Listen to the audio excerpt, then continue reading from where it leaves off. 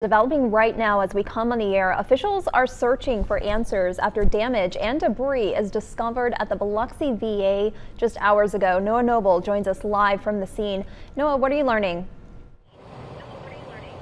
Well, Amber, this was a shocking scene unfolding here at the Biloxi VA when a Chevy Silverado pickup truck barreled through the National Cemetery here. Check out some of the video I took when I got on scene here. This happened around 3 o'clock this afternoon when the VA police out here were, received a phone call about this truck crashing through about 10 graveyard, grave sites out here, or gravestones, excuse me.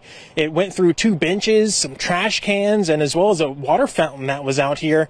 This is a shocking scene to look at to see these graves pummeled over over. Some of them are still standing. There's about two of them that are broke right now. A graveyard or gravesite foreman is out here cleaning up what he can, but these gravestones are heavy. They're about 240 pounds each. As I said, about 10 of them were knocked over. There's still some questions we're trying to get answered like what's the condition of the driver what caused him to him or her to barrel off the road like this and create this wake of destruction behind them. They went for about 530 feet from the flagpoles all the way out here. This is the AABB lettering of graveyards. Like I said, we're still trying to get some answers here. We don't have a lot of information, but as soon as we learn more, we'll let you know. Live in the Biloxi VA, I'm Noah Noble for WLOX News Now.